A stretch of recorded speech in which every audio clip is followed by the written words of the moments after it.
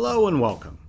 In this first video from our Gauss Basics series, we'll show you how to use the arithmetic operators, create variables, and use the print command to see your output.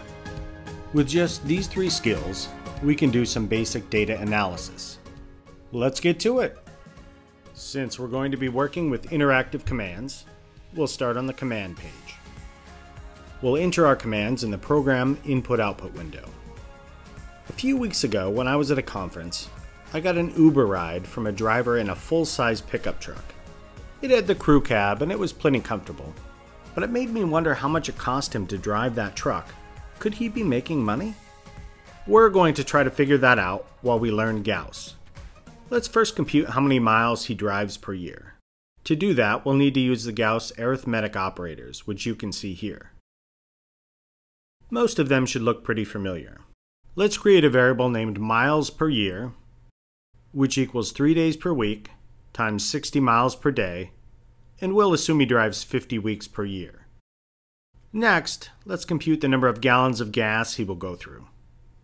Gas per year equals miles per year divided by 18, which is the miles per gallon rating for his truck.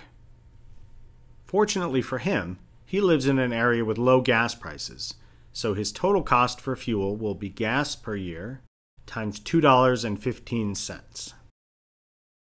So far we've created three variables in the Gauss workspace. Miles per year, gas per year, and gas cost per year.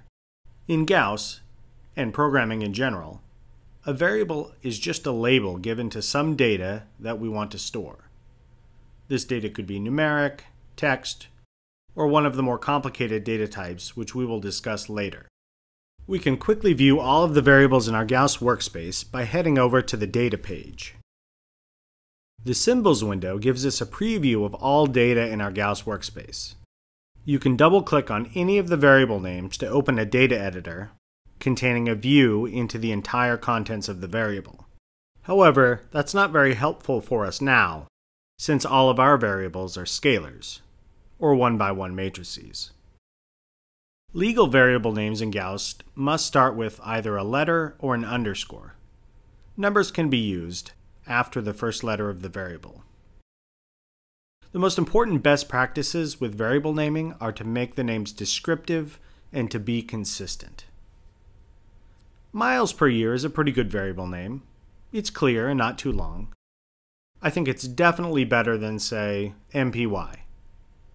At the time you write the code, MPY will probably make plenty of sense. But as your programs grow in complexity and the number of variables grows, that sea of variables like MPY, GPY, GCPY, etc., will not be as friendly as it was at first. You'll also remember less over time than you expect.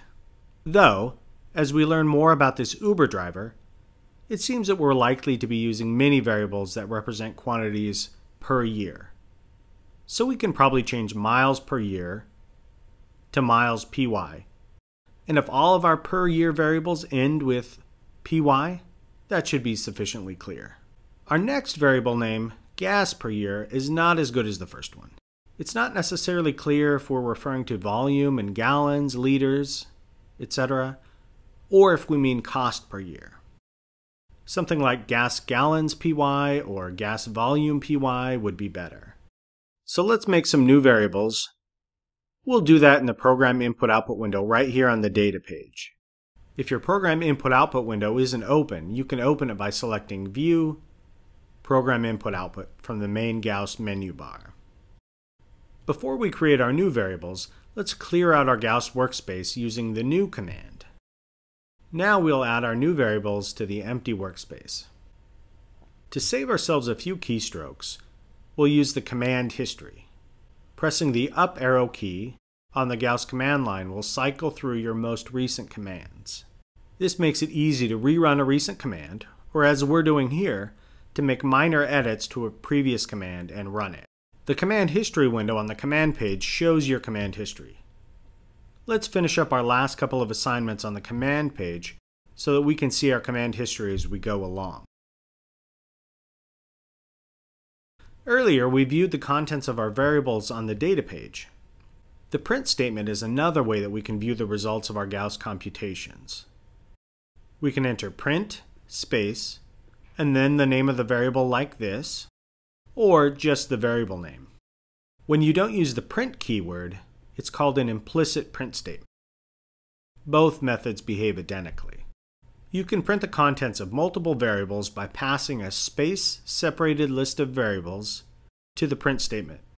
Since, as we just mentioned, the print statement takes a space-separated list of items to print, if we enter an expression like this, we're going to have a problem. Because you're telling the print statement to print the value of miles py, then print the value of the multiply operator, followed by the value of gas gallons py. The problem, of course, is that it doesn't make any sense to print the value of the multiply operator. So we need to tell Gauss to evaluate the expression first. We can do that by wrapping the expression in parentheses like this. Or, if your fingers are feeling lazy, you can skip the parentheses if you also omit the spaces. There, we see the output of our expression is 1075. That's the number of dollars we estimate our Uber truck driver is spending per year on fuel. In the next video, we'll compute estimates for some more of his expenses while showing you how to create and run your first Gauss program. See you then!